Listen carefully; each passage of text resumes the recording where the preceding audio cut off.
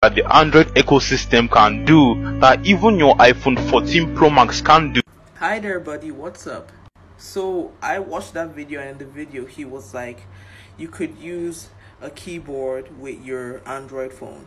You can also do it with your iPhone as well. So I got this OTG cable here from AliExpress, and this is a miracle, baby. Now to demonstrate, I'm going to be using my mom's iPhone to test this stuff out and a keyboard and even a mouse too. I would have used my drawing tablet though, but I didn't bring that with me. It's at school and I'm at home, so um let's just demonstrate anyway.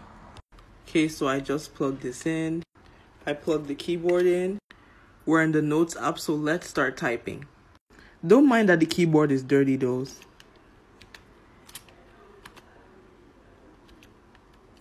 Yay! Cap locks are on. Let's test this out. Yay! Even the enter keys work. That's so cool. Now let's test out the mouse next. Now look at this as I'm moving. There's this cursor over here you can see. And then we try moving. Like this is crazy. Whoa. This is... See, this is cool. In my opinion, there isn't really much of a difference between the iPhone and the Android. It just depends on what specific features you're looking for. So, um, yeah.